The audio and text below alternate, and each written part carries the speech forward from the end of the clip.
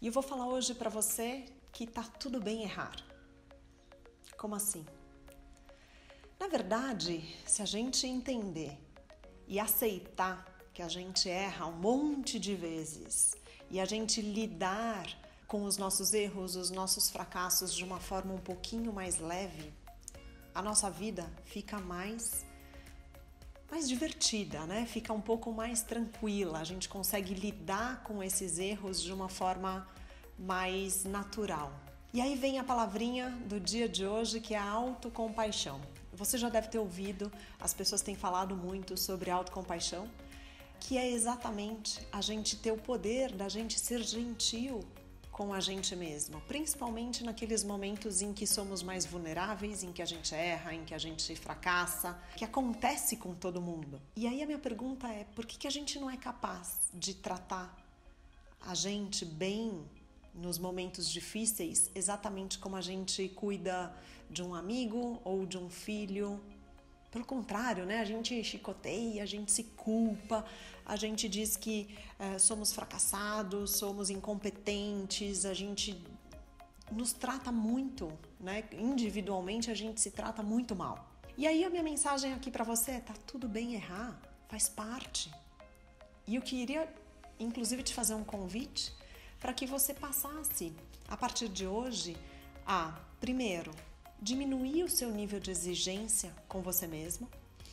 Então, toda vez que você desejar né, que você seja perfeito uh, no seu trabalho, que você seja a melhor mãe ou pai do mundo para com seus filhos, que você baixe já um pouquinho esse nível de exigência para um nível de preferência. E isso é só no seu modelo mental, no seu pensamento de todos os dias. Ao invés de falar eu exijo que eu seja a melhor profissional, eu vou falar eu prefiro que eu seja.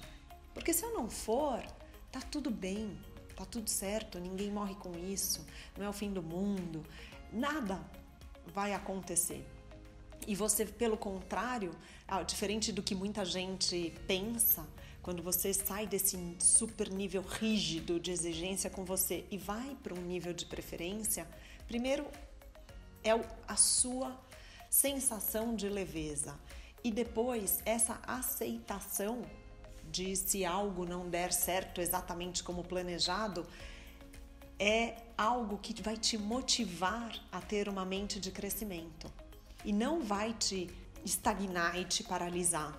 E isso é diferente, porque as pessoas acham que se elas não forem com esse nível de exigência, elas não serão boas o suficiente. E não, isso que muitas vezes pode, inclusive, estar te bloqueando. Então, o meu convite aqui para você é que você aceite mais, se arrisque muito mais e aceite quando os erros acontecerem, porque eles são fatos pontuais, eles não são parte da sua identidade, de quem você realmente é. Você não é aquele erro. Né? Talvez aquele erro fez parte de um momento muito específico. E tá, tá ok. A gente só acerta a partir do momento que a gente se arrisca. E esse é um outro convite que eu tenho para fazer aqui para você. Nesse mundo que a gente tem com tantas inovações, com, com essa modernidade né, líquida, né, que a gente fala que tudo passa tão rápido que nada se solidifica, é exigido da nossa parte um pouquinho mais de protagonismo, um pouquinho mais de risco, que a gente se desafie, que a gente busque por inovações, criatividade. E para isso, a gente vai falhar mais. E a gente vai errar mais, porque a gente tem possibilidade de acertar cada vez mais.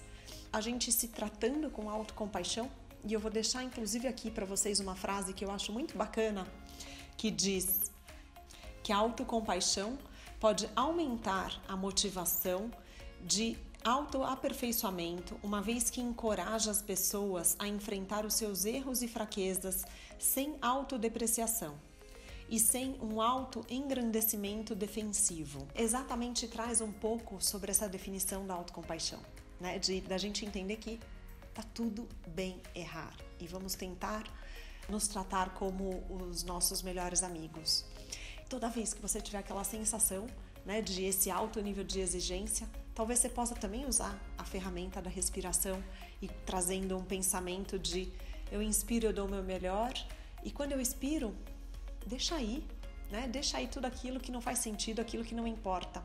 E a repetição dessa respiração, ela faz com que a gente aceite mais o como nós somos, não o como talvez nós idealizamos ser, né? Traz pra gente uma consciência maior das nossas forças e das nossas fraquezas e, de novo, tá tudo bem. Tá tudo bem porque eu tenho conhecimentos e bagagem o suficiente que me trouxeram até aqui no momento presente. E aí eu vou trabalhar, vou desenvolver novos comportamentos, novas habilidades para atingir esse próximo nível. E com muita autocompaixão, porque é isso que vai me trazer a força para que eu atinja esse próximo, essa próxima etapa consciente, né, do aonde eu estou e aonde eu quero chegar. Essa é minha dica hoje para você. Super obrigada por estar aqui, por ser a melhor pessoa que você pode ser no momento presente. Se você achou que esse vídeo fez sentido para você ou se você quer mandar uma mensagem para alguém, compartilhe, deixe sua pergunta, dê o seu like.